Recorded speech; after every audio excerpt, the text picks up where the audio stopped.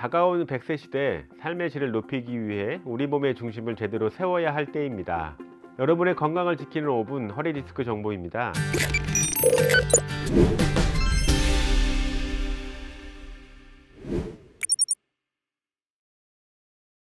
안녕하세요. 저는 서울대학교 병원 운영 서울특별시 보라의 병원 신경외과 박성배 교수입니다.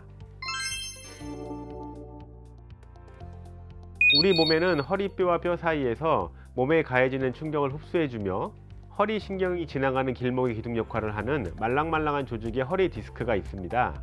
이런 허리 디스크의 변화의 원인은 유전적 소인도 원인이 되지만 주로 나이가 들거나 혹은 나이가 들지 않아도 많이 사용해서 등의 원인으로 디스크가 원래 있어야 할 자리에서 튀어나오면서 문제가 생깁니다. 이렇게 튀어나온 허리 디스크가 허리뼈 뒤에 척추관을 지나는 신경을 누르게 되고 이로 인해 생긴 염증이 극심한 통증을 유발하는 병이 소위 말하는 허리 디스크인 의학적으로 정식 명칭은 요추부 추간판 탈출증입니다. 그럼 흔히 헷갈려하는 협착증과는 뭐가 다를까요? 허리뼈 뒤에 척추관을 지나는 신경이라고 말씀드렸는데요. 노화로 인해서 척추뼈의 뒤쪽 연결고리인 투관절 부위가 울퉁불퉁해지고 허리뼈 주변에 인대가 두꺼워지고 이로 인해서 신경이 지나가는 길인 척추관이 좁아지면서 척추관 협착증이 발생하게 됩니다. 노화에 의한 원인은 동일하지만 전형적인 협착증과는 발생 부위가 다른 거죠. 이 이외에도 허리 통증을 유발하는 질환은 퇴행성 질환, 골다공증, 척추 변형 등이 있습니다. 모두 원인과 치료법이 다르기 때문에 정확한 구별이 필요합니다. 허리 디스크 즉 추간판 탈출증의 대표적인 증상은 첫 번째로 허리 쪽 통증 혹은 엉덩이 쪽의 통증이 동반되거나 점차 악화되면 엉덩이에서 다리 쪽으로 내려가는 저릿한 통증입니다. 두 번째로는 걸을 때는 괜찮았다가 앉아 있을 때 더 아픈 경우에 의심해 볼 수가 있겠습니다.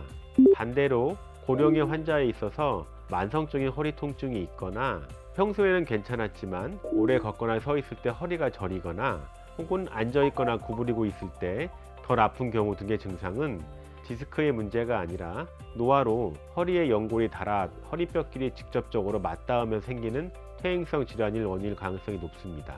대부분의 척추관 협착증의 증상은 허리는 아프지 않지만 걷거나 오래 서 있으면 저린 느낌이 있고 무릎이나 골반을 구부린 자세가 편하며 저린 발을 발판에 올려놓으면 조금 나아진 형태를 띱니다. 그렇다면 어떠한 경우에 병원에서 치료를 받아야 할까요? 바로 심한 통증으로 인해서 일상생활에 큰 지장이 있을 때입니다. 어, 이러한 경우에 환자분의 증상이 경과를 보면서 진통소염제나 주사제, 시술 등을 통해서 통증을 경감시켜주는 치료를 진행을 합니다. 앞선 이러한 치료들로 통증이 만약에 호전되지 않는다면 혹은 이러한 극심한 통증으로 인해서 일상생활이 어려워지면 수술적 치료를 고려해 볼 수 있습니다. 허리 수술이라고 하면 빨리 해버려야겠다고 생각하시거나 반대로 크게 절개하는 것이 아닌가 해서 많이 겁을 내시는 분이 많은데요. 수술은 무조건 안 하는 것이나 혹은 너무 빨리 서두르는 것둘다 좋지는 않습니다. 급성인지 아닌지 혹은 디스크만의 문제인지 아니면 다른 관절 협착까지 연관되어서 다른 수술법이 필요한지 등에 대해 고려해 볼 필요가 있겠고요. 기본적으로 수술적 치료를 할 때는 허리뼈와 허리뼈 주위의 관절, 주변 조직을 일부 제거하면서 진행이 되고 디스크 일부분도 제거되기 때문에 수술적 치료 후에 수술 부위의 뻐근함, 불편감이 따를 수밖에 없기 때문에 수술을 쉽게 결정하실 문제는 아닙니다.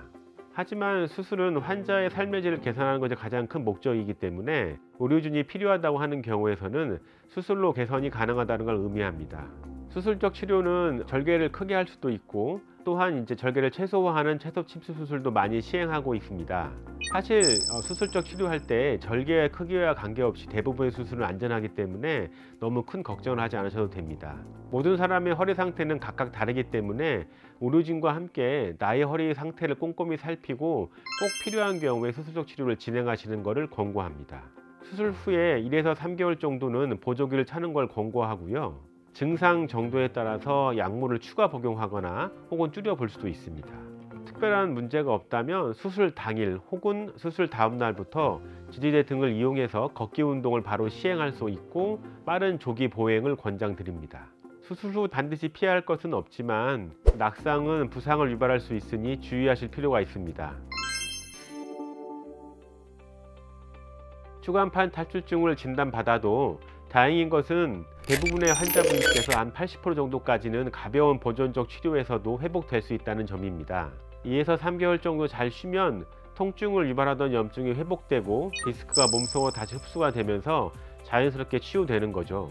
대신 하지 말아야 할 것이 있습니다. 통증이 심하며 급성 디스크 탈출로 진단받았는데 바로 이런 아픈 허리를 강화시키겠다면서 윗몸 일으키기 등이나 플랭크 등과 같은 허리 근육을 무리하게 사용하는 운동을 하는 것은 매우 위험할 수가 있습니다. 특히 윗몸 일으키기는 요령 환자에서 도움이 되지 않습니다. 대신 걷기, 달리기, 수영 등 유산소 운동이나 가벼운 전신 운동 위주의 근력 운동을 권고합니다. 하지만 이러한 전신 운동도 통증이 느껴지게 되면 중단하시는 것이 좋겠습니다. 운동보다 더 중요한 것은 바로 회복을 위한 휴식이기 때문입니다. 혹시 지금까지 내용을 들어보니 나는 추간판 탈출증이 만든 것 같거나 병원에 가지 말고 집에서 쉬어야 하겠다고 생각하고 계신가요? 절대 그러시면 안 됩니다. 전문가가 아닌 비의료인이 증상을 정확히 구분하기는 어려울 뿐더러 비슷한 증상을 보이는 다른 질환, 예를 들어서 암이나 하지 혈관 질환의 가능성도 배제할 수 없기 때문입니다. 그러니까 통증이 느껴진다면 병원에 방문하셔서 정확한 진단을 받아보시는 것이 필수입니다.